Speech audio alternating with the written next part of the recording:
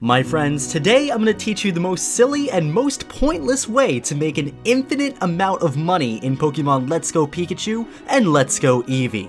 Don't do this. This is probably the slowest way to make money in this game, however, you can make infinite money with this. Don't take this guide seriously because it's kind of for the memes, but if you want to know a serious way to make good money, I have a video up for that on my channel. Let's jump right in.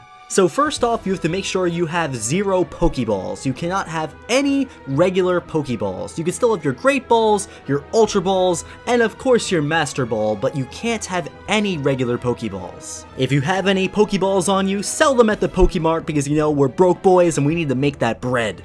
Next, we're gonna go to Mount Moon, which means you could actually do this method of making infinite money really early in the game, so right after you beat Brock, you could technically have infinite money.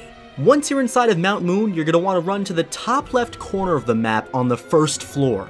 When you're there, you'll see an older guy standing around. Now, go ahead and start talking to him. He'll say to you, Hey, looks like you're running short on Pokeballs. That's no good. No good at all. Don't you know that preparation's the first step to success? Here, take these. These are my Pokeballs. And he will give you 10 regular Pokeballs because, you know, he doesn't like odd numbers. So now it's time to exploit his generosity a little bit. We're gonna get out of the cave and go to the nearest Pokemart and sell those 10 Pokeballs to make a sweet, sweet, sweet 500 Pokedollars.